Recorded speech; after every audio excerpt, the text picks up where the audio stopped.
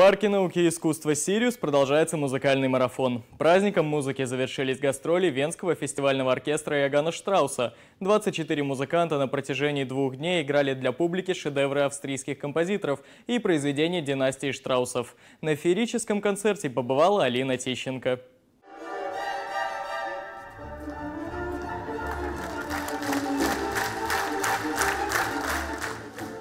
Головокружительным успехом прошли концерты Венского фестивального оркестра имени Иоганна Штрауса. Бессменный руководитель Питер Гуд выступает в качестве дирижера и солиста одновременно. Его неповторимой особенностью является эмоциональная манера управления оркестром со скрипкой в руках. Маэстро тесно общается со зрителем. Это создает непринужденную атмосферу и придает уникальность каждому концерту. Действительно, это вы не можете себе представить, что это значит для нас, потому что э, вдруг мир другая. Да? И после 17 месяцев сегодня наш первый концерт. Представляете?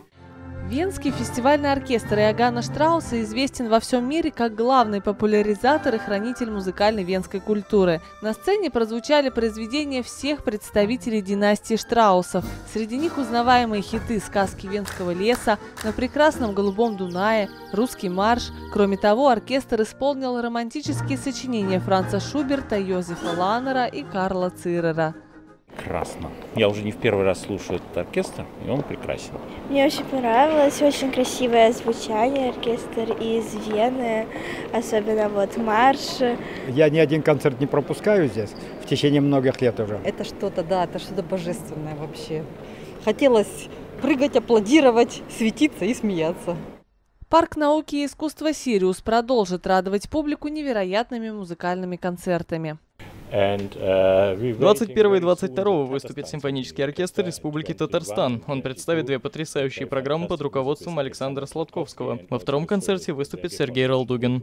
Подробную информацию о мероприятиях в Сириусе можно узнать на сайте parksirius.ru.